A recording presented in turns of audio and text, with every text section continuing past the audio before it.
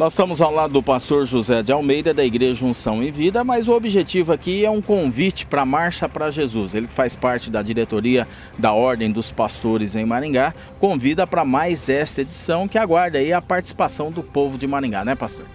Correto, querido. O nosso objetivo nessa marcha é alcançar esta cidade e declarar que Maringá é do Senhor Jesus.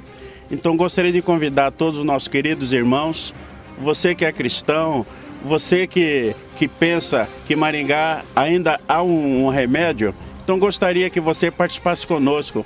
Esteja conosco, nós vamos sair às 9 horas, ali em frente à, à Pernambucana, na Praça Napoleão, e nós vamos fazer um trajeto no centro e a gente gostaria de contar com a sua presença.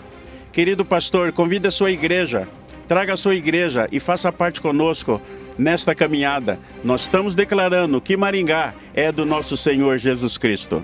O término é no Calçadão, em frente à Prefeitura, e ali vai ter um evento e apresentações do encerramento da Marcha para Jesus.